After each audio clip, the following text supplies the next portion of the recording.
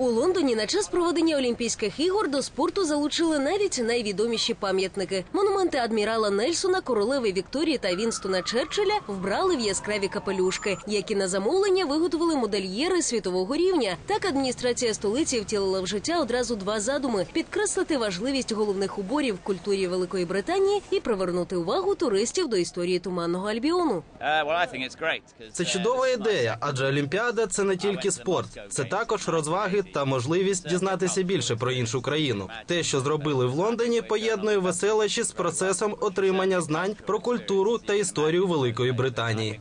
Загалом у капелюшковому проекті візьме участь 21 пам'ятник історії. Серед них бронзові фігури письменника Вільяма Шекспіра, поета Роберта Бернса та герцога Велінгтонського. Капелюшок для кожної статуї розробляли різні кутюр'є.